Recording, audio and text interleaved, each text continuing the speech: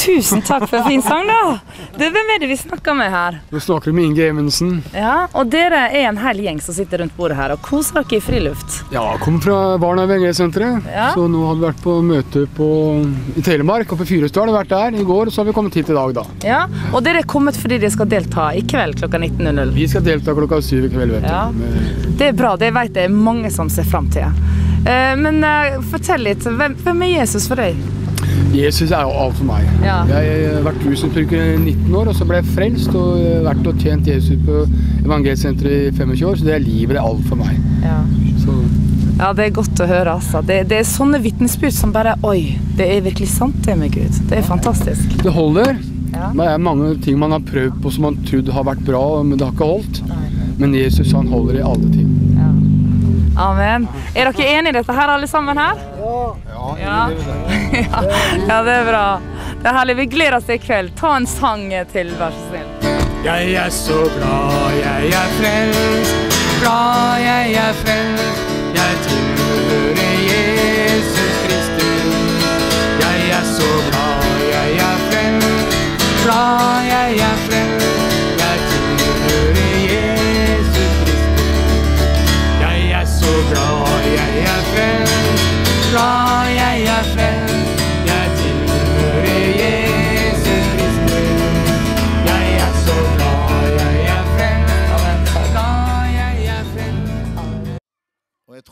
Viktig budskap, det som jeg deler her. Det er egentlig en profetisk advarsel inn i tiden vår.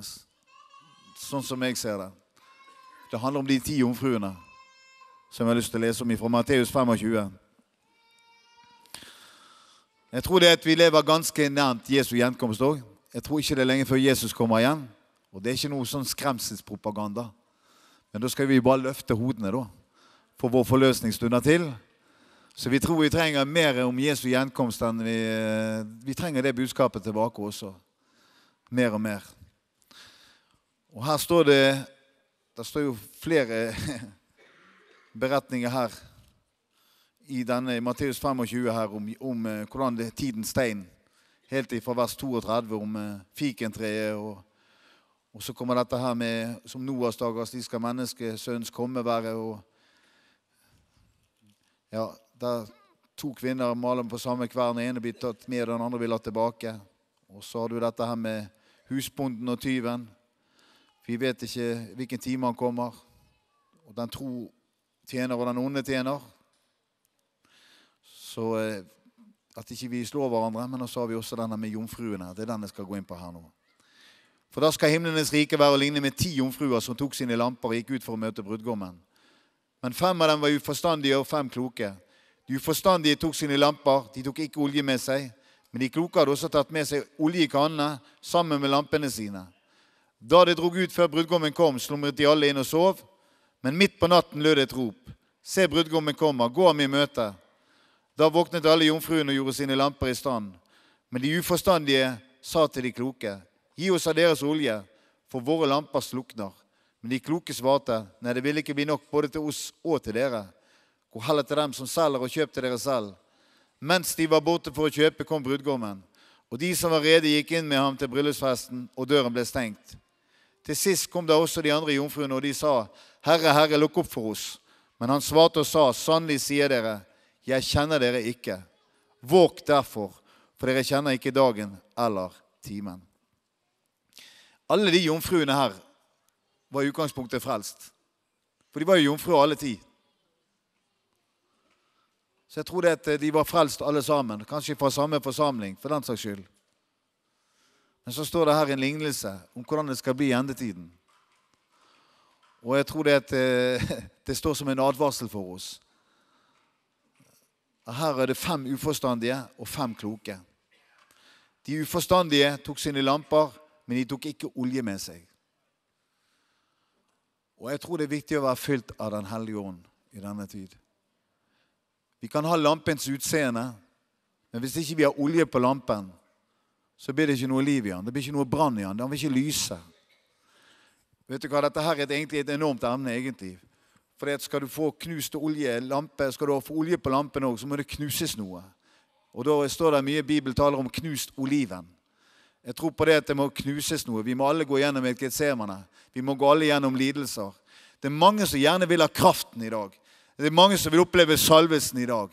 Men det har sannelig, sin pris med seg.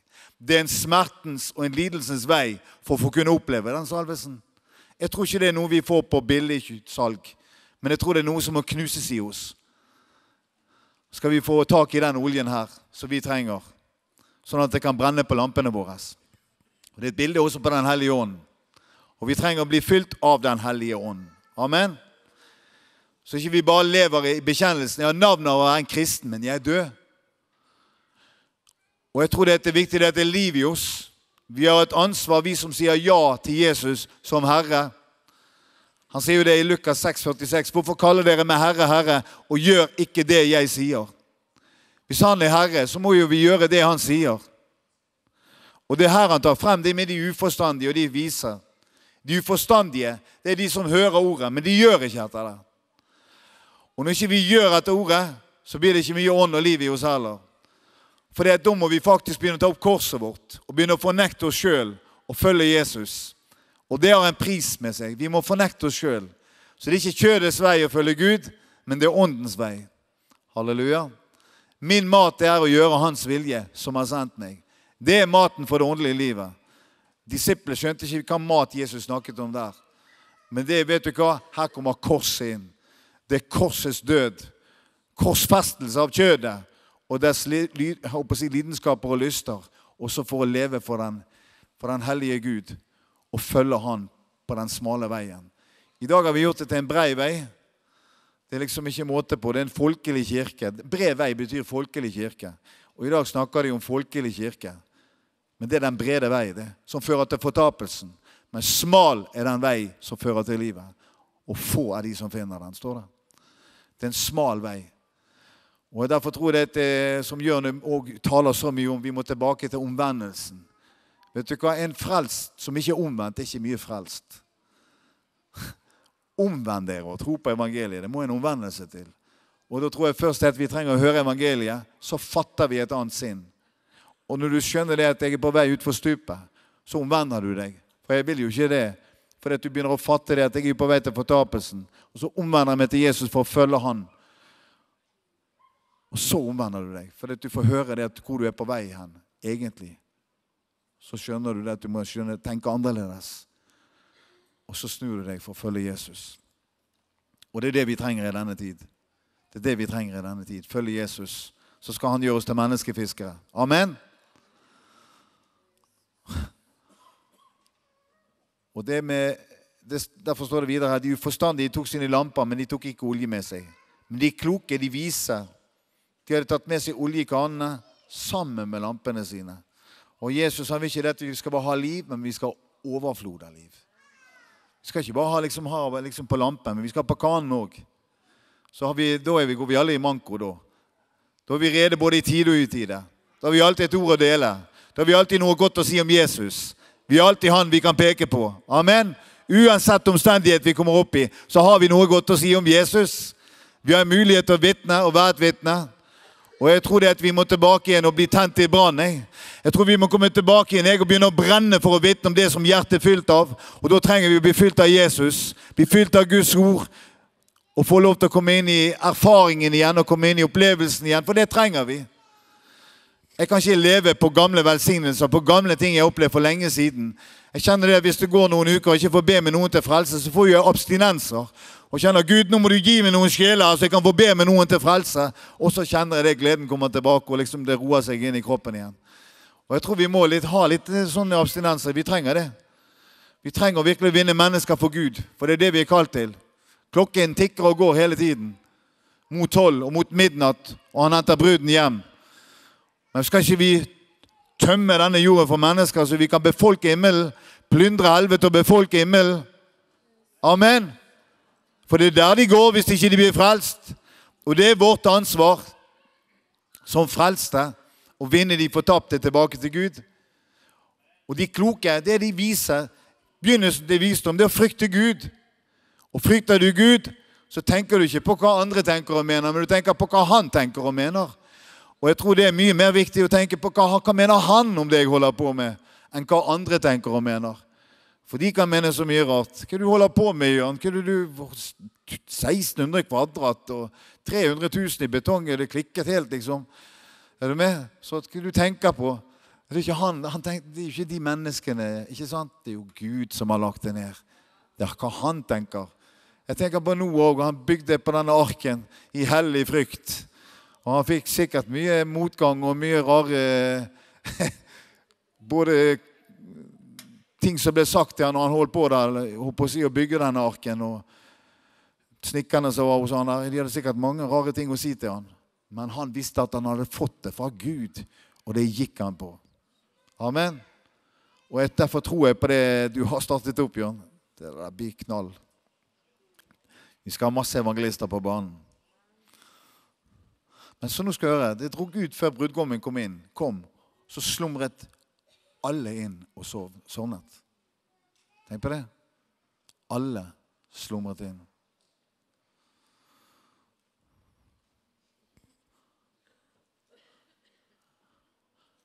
Jeg tror det at det, Og jeg tror her også Vi lever i en farlig tid her i Norge. For, spesielt her i Norge. Vi har alt. Men det er også alt vi har. Vi er rik her i Norge på materialisme og alt sånt. Men vi har en åndelig fattigdom. Vi trenger å bli mer rik i Gud. Vi trenger mer av Hans ånd og Hans kraft. Vi trenger å se mer tegn, under og mirakler. Og ikke, ikke det som folk søker i Norge i dag, inn til healere. Til og med kristne går inn i alternative ting for å få hjelp for sine sykdommer og plager. Det som Guds menighet skal være besittelse av. Det har denne verdens ånd kopiert og tatt over på. Jeg tenkte på det, var oppe i Harstad og hadde møte oppe i Harstad. Og der oppe på et hotell, da, så hadde de det at der kunne menneskene de, der kunne de komme på De skulle ha et sånt medium da, på hotellet i løpet av hele helgen. Det er for de opp på hotellet. vet du. Og der de, kunne de komme til besteforeldrene sine, som var døde. Men de skulle få kontakt med de i åndeverdenen, så kunne de be dem om tilgivelse. Så djevelen driver og kopierer til og med evangeliet med å be om tilgivelse. Men han er jo en løgner, og han er en bedrager. Men der ser du hvordan djevelen kopierer alt av gaver i dag i Norge. Og folk går på limpinnen. Folk blir ført vill. Og jeg tenker, Er det noe budskap som ligger i mitt hjerte òg, så er det det Jesus sier til disiplene sine. Det første han sier til disiplene sine, det er at se til at ingen fører dere vill. Og her er det mange som går vill. Det er Jesus som er løsningen. Det er han som er veien. Det er han som er sannheten. Det er han som er livet. Det er han som har livet. Amen. Og han har gitt oss talsmannen Den hellige ånd, som skal veilede oss til hele sannheten. Så jeg tror på det at eh, vi lever i en tøff tid, en vanskelig tid. Og vanskelig å holde seg brennende. Jeg tror det blir tøffere og tøffere. Men vi har Guds ord. Vi har Guds ord å stå på og gå på. Men de sovnet inn.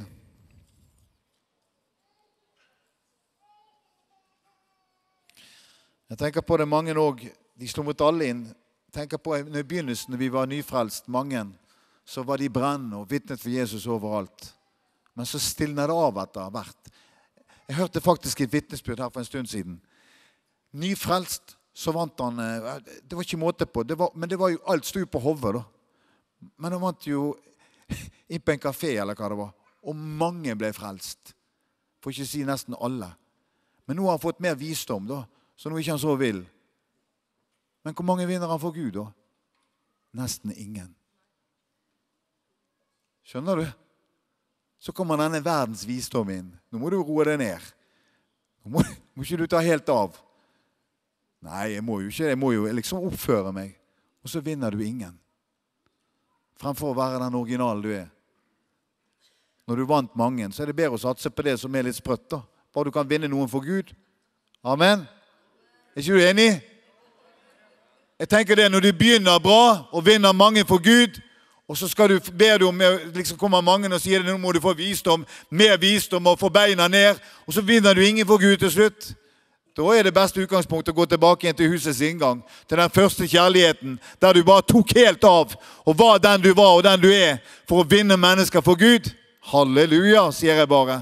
For det er en idioti, dette her vi driver på med. Det er en dårskap for verden, men det er en Guds kraft til frelse for hver den som tror. Så verden forstår ikke dette her, for det er idioti i deres øyne. Men eh, Da får de bare heller kalle oss idioter. Men vi har iallfall løsningen. Og det er evangeliet om Jesus Norge trenger. Mer enn noensinne. Halleluja. Men så står det med midt på natten så lød et rop. Brudgommen kommer. Gå ham i møte. Vet du hva? Vi må ikke bli for sein. Og liksom, eh, jeg tror det er nå i denne tid så er det tid for innvielse. Det er tid for nytt å innvie sitt liv for Jesus. Legge ned sitt eget liv og la han bli herre på alle områder på nytt igjen. Jeg tror tiden er der nå, jeg. For jeg tror tiden er så kort før Jesus kommer igjen. Ja, det har vi hørt igjennom mange år. Det har vi hørt lenge, at Jesus skal komme igjen. Det er spotterne som sier det. Det er de som spotter, som sier det, står der. Jesus kommer snart igjen.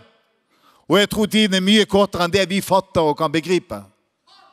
Og når jeg hører som jeg, jeg håper å si, når jeg kan høre, i hvert fall hørt to ganger da, To ganger har jeg hørt et budskap om Jesu gjenkomst som er en tydning da, som gikk på det at eh, mitt komme skulle allerede ha vært. Dere lever på lånt tid.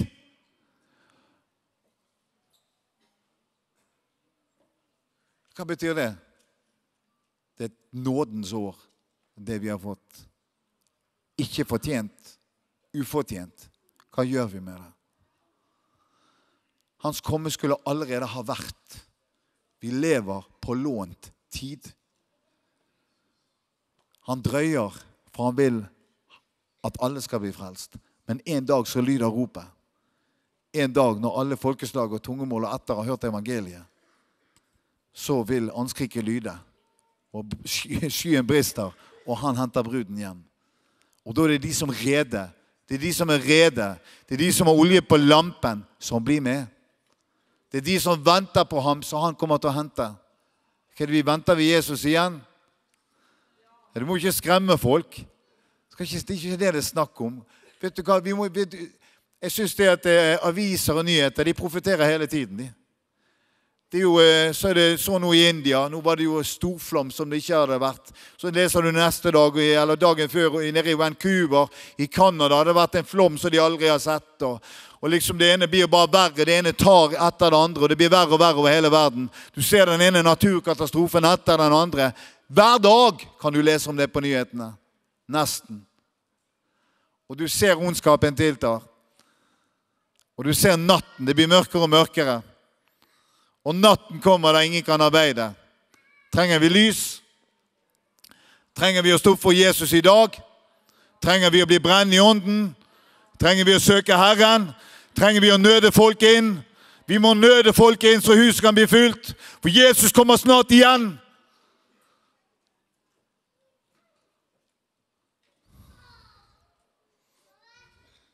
Vet du hva? Alle jomfruene våknet òg til slutt. Tenk på det. De så tilstanden. Og de gjorde sine lamper i stand. Men de forstandige sa til de kloke, gi oss av deres olje, for våre lamper slukner. Men de kloke svarte, det vil ikke bli nok både til oss og til dere. Gå heller til den som selger, og kjøp til dere selv. Tenk å våkne opp da, og så vite at det er for seint. Uff, jeg har surret vekk livet mitt. Jeg har fylt det med tomhet. Jeg har fylt det med det som ikke gagnet i det hele tatt. Jeg har vært mer opptatt av denne verden enn Jesus. Tenk på det. Og jeg har jo alt i denne verden, men jeg har jo ikke livet i Gud. Det er for seint. La meg få olje av deg. Nei, ikke nok både til meg og til deg. Gå og kjøp sjøl. Det er en pris å betale. Det koster å følge Jesus. Men hva koster det å ikke følge han? Det er to måter å regne på. Det, jeg tenker det at Hvis du tenker på hva det koster hvis du ikke følger Jesus En evig fortapelse vekk fra Gud Det er jo tragisk, for å si det mildt. Derfor trenger vi omvendelsen tilbake. Og jeg tror folk, vi, Mange av oss trenger å omvende oss tilbake til Gud igjen. Tilbake til livet i Gud igjen og søke Han. Jeg skal si en ting, jeg leste en bok med Dwight L. Moody her for en tid tilbake en vekkelsesforkynner. Og så sier han nede i helvete, sier han. Der nede er det ikke en eneste nødutgang. Her er det nødutganger overalt. Der er åpne dører, du kan løpe ut. Tok det fyr i teltet, her, så kan du løpe mot de gangene der det er åpent. Men i helvete er det ikke én eneste nødutgang. Det er ingen som kommer ut ifra fortapelsen. Og de som sitter i fortapelsen, vet du hva de ber om? Om vi bare kunne få én mulighet til til omvendelse, så hadde vi gjort det umiddelbart. Og da tenker jeg Når går siste rop ut for oss, for den enkelte av oss, til å omvende seg fra vårt eget liv, og så Kristus Kristuslivet framfor selvlivet? Han som lever etter sine lyster, han er død.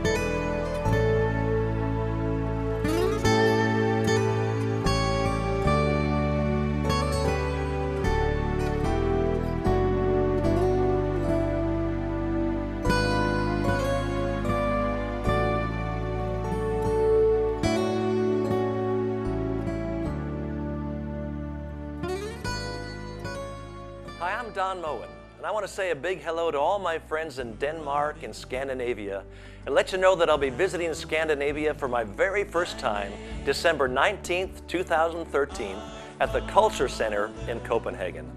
It's going to be a great night as we celebrate Christmas together.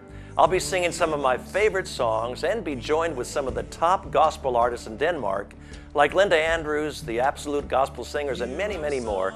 It's going to be a great night to celebrate Christmas together. So come join me. Get your tickets now. I look forward to seeing you soon.